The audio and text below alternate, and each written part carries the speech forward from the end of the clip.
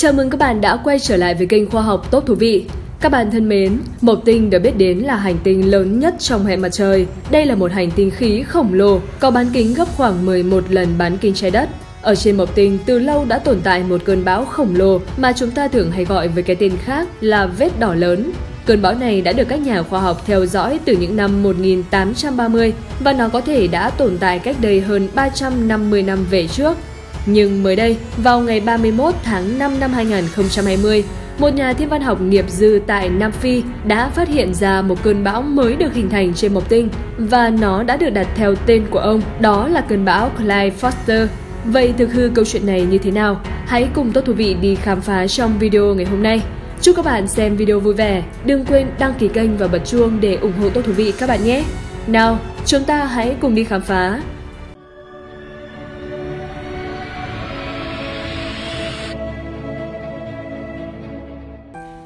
Nằm cách mặt trời 5,2 đơn vị thiên văn AU, chúng ta đang đi tới hành tinh lớn nhất của hệ mặt trời, đó là Mộc Tinh.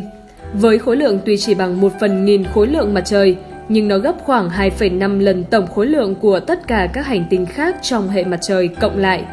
Trong công cuộc khám phá Mộc Tinh, nhân loại đã gửi một số tàu thám hiểm bay ngang qua nó như tàu Pioneer, Voyager hay tàu Galileo.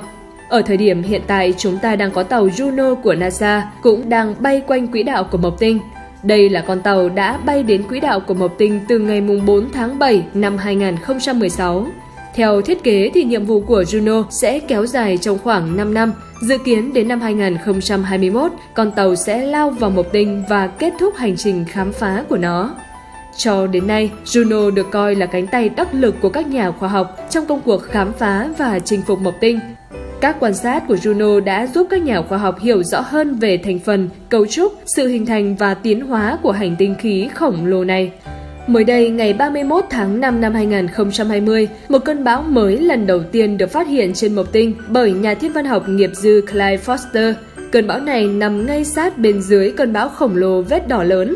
Ngay sau khi phát hiện, nhằm tôn vinh người đầu tiên phát hiện ra nó, các nhà khoa học đã đặt tên của cơn bão là tên của nhà khoa học nghiệp dư này, đó là Clyde Foster. Như các bạn quan sát thấy trên màn hình, đây là bức ảnh do nhà thiên văn học nghiệp dư chụp được. Qua quan sát ban đầu, các nhà khoa học cho rằng cơn bão này mới xuất hiện trên Mộc Tinh cách đây không lâu. Bởi vì trong lần bay qua khu vực này lần trước của Juno, họ không nhận thấy bất kỳ điều gì bất thường xung quanh khu vực đó cả. Và ngày 2 tháng 6 vừa qua, trung tâm điều khiển tàu Juno cũng tình cờ đưa tàu du hành bay ngang qua khu vực này và đây là hình ảnh ghi lại cơn bão mới xuất hiện của tàu thám hiểm Juno. Cơn bão mới được hình thành ngay bên dưới và bên phải của vết đỏ lớn. Các nhà khoa học cho biết họ sẽ quan sát và nghiên cứu kỹ hơn về cơn bão mới này nhằm có thêm hiểu biết về những hoạt động của Mộc Tinh. Qua đây chúng ta có thể thấy khám phá vũ trụ không phải chỉ là công việc của các chuyên gia mà có lẽ đây là công việc của cả nhân loại. Nếu bạn muốn ghi tên mình trong một sứ mệnh khám phá nào đó, hãy chịu khó quan sát và phát hiện sớm nhất một sự kiện. Chắc chắn tên tuổi của bạn sẽ được nhiều người biết đến giống như Clyde Foster. Công bằng mà nói, trong các hành tinh của hệ mặt trời, Mộc Tinh vẫn là một trong những hành tinh đáng được chú ý nhất. Với lực hấp dẫn siêu lớn của hành tinh khí nặng gấp 318 lần trái đất, Mộc Tinh trở thành tâm điểm thu hút các tiểu hành tinh, các thiên thạch lao về phía nó. Nhờ vậy mà các hành tinh phía bên trong như hỏa tinh, trái đất, kim tinh và thủy tinh được an toàn hơn.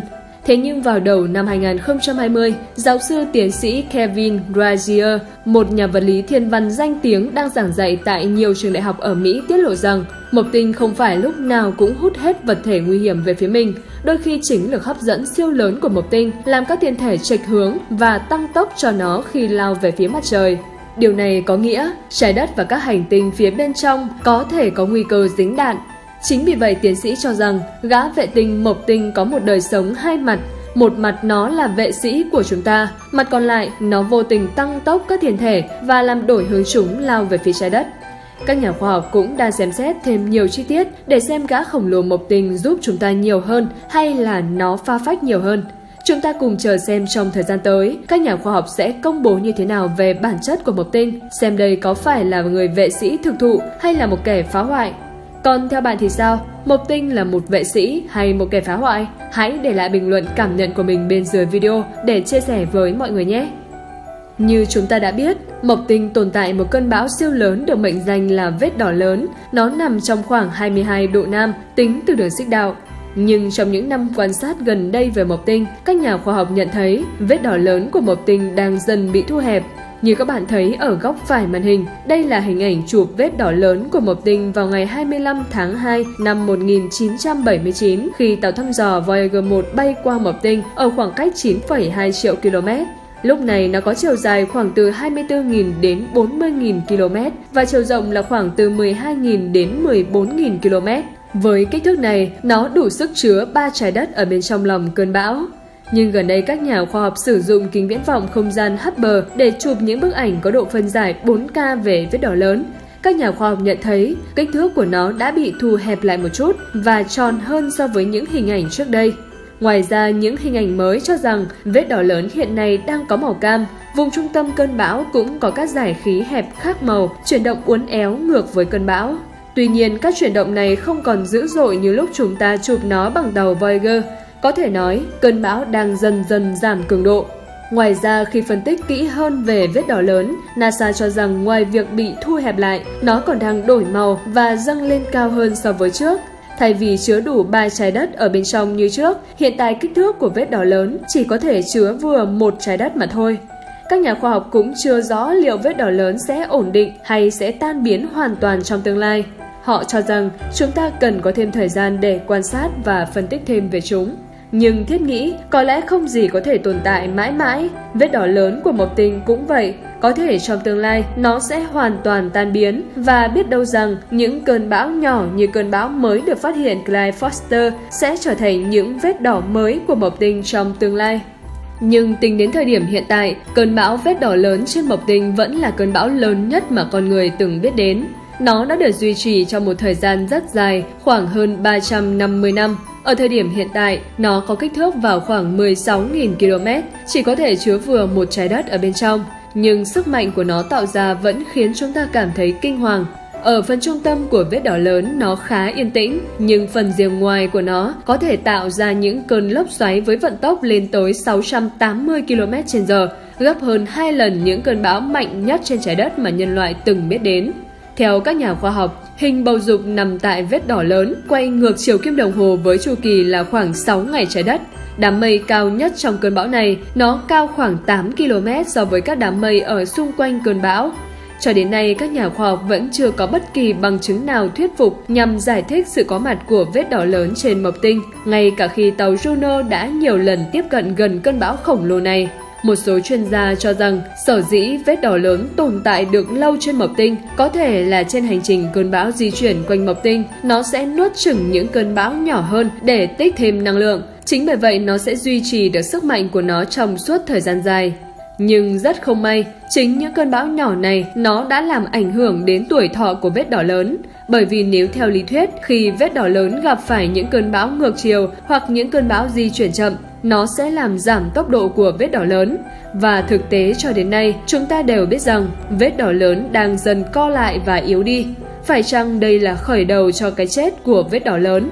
Có lẽ trong tương lai nó sẽ hoàn toàn biến mất bởi vì dù sao nó cũng chỉ là một cơn bão và mọi cơn bão cuối cùng đều sẽ kết thúc. Nhưng điều gì sẽ xảy ra với khí quyển của mộc tinh nếu nó không còn vết đỏ lớn? Khi mà vết đỏ lớn là nguyên nhân làm nóng phần trên của khí quyển mộc tinh, và các nhà khoa học cũng không thể khẳng định được điều gì sẽ xảy ra với mộc tinh khi không còn lượng nhiệt này. Nếu trong tương lai nó thực sự biến mất, những người yêu thích vết đỏ lớn sẽ cảm thấy thất vọng bởi vì chúng ta sẽ không được quan sát nó trên mộc tinh nữa. Nhưng các nhà khoa học cho rằng có thể vết đỏ lớn hiện tại sẽ dần biến mất, nhưng tỷ lệ có vết đỏ lớn khác thay thế sẽ rất cao, bởi vì với một môi trường hoạt động mạnh mẽ như mộc tinh, những cơn bão nhỏ sẽ dần kết hợp với nhau, tạo thành những vết đỏ lớn trong tương lai. Biết đâu rằng sau một vài thập kỷ nữa, mỗi khi chúng ta quan sát mộc tinh, chúng ta lại thấy một vết đỏ lớn mới được mang tên Clyde Foster. Vậy là hôm nay, tôi Thủ Vị và các bạn đã cùng đi khám phá bí ẩn mới được phát hiện, một cơn bão mới trên Mộc Tinh. Chúng ta hãy cùng chờ xem liệu trong tương lai cơn bão này có thể trở thành một vết đỏ lớn của Mộc Tinh hay không nhé. Chúc các bạn xem video vui vẻ. Nếu thấy video hay, hãy like, share và comment bình luận của mình bên dưới video để ủng hộ Tốt Thú Vị các bạn nhé. Và bây giờ, xin mời các bạn tiếp tục lựa chọn video bên trái hoặc bên phải màn hình để cùng Tốt Thú Vị đi giải mã các bí ẩn khác của vũ trụ. Hẹn gặp lại các bạn ở những video tiếp theo. Tạm biệt các bạn.